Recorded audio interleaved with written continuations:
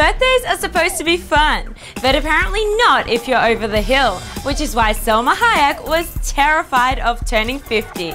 The Mexican actress has admitted she used to be scared of getting old because she was told her career would not last past the age of 35. The actress added that she no longer worries about turning 50 as it is an age where women can be productive. Congrats Selma on proving that your half century birthday is really no big deal. To see your photos and videos featured on BoomZulu, upload them via boomzulu.com or via the BoomZulu app. I'm Ruby and for the most up-to-date celebrity news, check out boomzulu.com.